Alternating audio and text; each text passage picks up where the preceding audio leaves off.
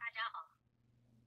今天我和大家来讲一个很扎心的故事，当然这个故事是真实的。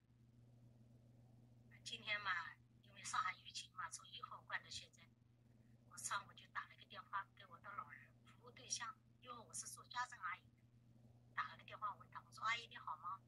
电话没人接，最后他儿子接了，我就问他，我说阿姨好吗？他告诉我。说什么时候走的？他说八号走的。我说哦，既然我就来谈谈八号之前的事情。因为二十几号那个时候我在上班，我每天下午三点到他家去，他妈都每天三点钟之前都是一种期盼的眼光看着我。当我进门那一刹那，阿姨就笑了。阿姨说：“小郑啊，你终于来了。”我说：“阿姨，你吃过了吗？”她说：“没呢。”每天这个时间我都是给他弄点吃的。他有一天，然后常务险全部停下来，就每天我不能再去了。后来三十号、三十一号放风这两天，让我们这些人去外面去，呃，采购物资嘛，准备再封嘛。然后我就去了。